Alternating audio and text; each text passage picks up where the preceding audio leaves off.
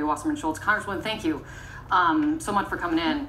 I want to quickly, if I could, get back to what Jessica Schneider was just reporting about federal prosecutors saying in court filings that they believe that the intent of the rioters was to capture and kill elected officials like yourself. What is your reaction to that? that that's just a, a chilling conclusion that we really, in the week leading up to the domestic terror attack that was launched on the Capitol last Wednesday, we were warned as members to be very careful, to prepare, to make sure we were moving in the tunnels and not outside the Capitol complex. And so uh, to, to, to listen to the heroism of the MPD and our Capitol police officers and what they went through that day, um, I, I really am so thankful for their valiant effort, but they were failed by their leadership, who thankfully are now gone and rightly resigned. And th- there needs to be a broad-based, comprehensive congressional investigation to get, in, in addition to the, the criminal investigations that are taking place.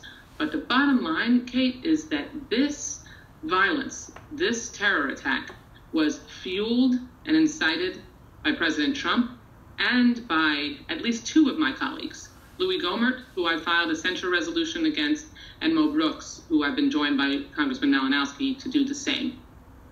There needs to be accountability, not just for the people who who came and and wreaked havoc in our capital and jeopardized the lives of, of hundreds and hundreds of people, but on the individuals like the members of Congress and President Trump, uh, who we impeached yesterday, who need to be held to account as well.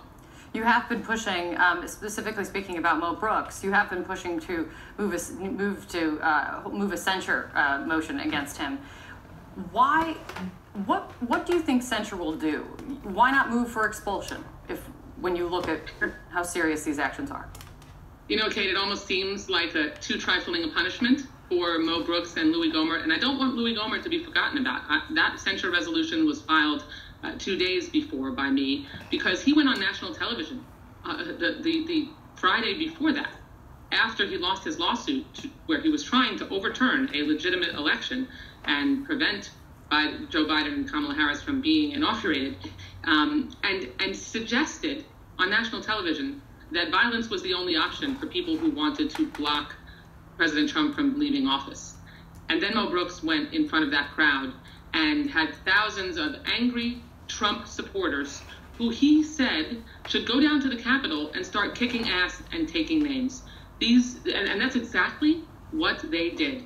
These two individuals, and likely more, incited the crowd, urged them on, and they at least deserve to be shamed in the well of the House of Representatives. As far as expulsion, you know, what I did was I proposed censure because censure requires a majority, and uh, and it was I think expulsion is a bar that is, uh, is is not something that will likely reach. I didn't want to distract from our ability to make sure that the the shame that these that, that Louis Gohmert and Mo Brooks brought on the Congress, on themselves, on their office, and the danger that they put their colleagues and the leaders of our country in needs to have consequences. There's another element of this, Congresswoman. I mean, you also have a couple of your colleagues who've raised concern that members of Congress um, were even showing around some of the rioters, wittingly or unwittingly, that they were going to become rioters in the days ahead of the riot. Do you think, it's hard for me to even say it again, but do you think this was somehow an inside job? Do you leave open that possibility? The answer is uh, yes, I leave open the possibility. I think anything is possible. Uh, when when I when I watched colleagues of mine who, in an abundance of caution, we had magnetometers, un- unprecedented that we have magnetometers to check members of Congress before they go into the chamber, who right. got in the face of the Capitol Police, even after what we went through last Wednesday, who are continuing to to defy the rules that we need to be have to be in place to keep people safe. Anything is possible, and we did we do know that there were Republican members of Congress giving tours the night before. What we don't know is what the, the purpose of those tours were. And it's just chilling that that's even a possibility and it needs to be investigated. There's one other thing I want to ask you about because the Washington Post is also reporting that dozens of people on a terror watch list were in Washington for the rally, and a majority of them were white supremacists. Look no further than the horrific Camp Auschwitz guy that thankfully has been now picked up by police. You're the first Jewish woman member of Congress from Florida. Have you thought about, in the days after, what this could have meant for you if they if they found you?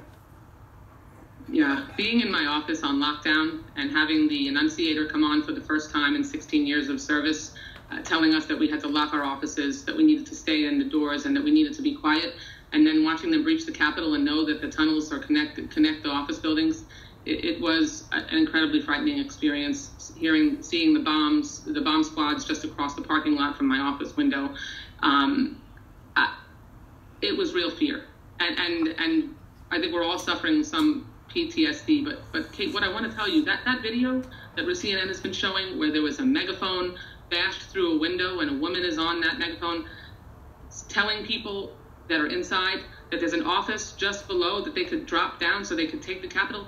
That's my hearing room. I chair a subcommittee in appropriations. That's the hearing room where my committee meets. It, the, the, the fact that this was quite quite likely an intention by many in this crowd to take the capital, as that woman said, to harm and even kill my colleagues and as many people as they could to try to stop the peaceful transition of power. You're damn right. Donald Trump was impeached on Wednesday, needs to be removed from office as soon as possible. He is a clear and present danger.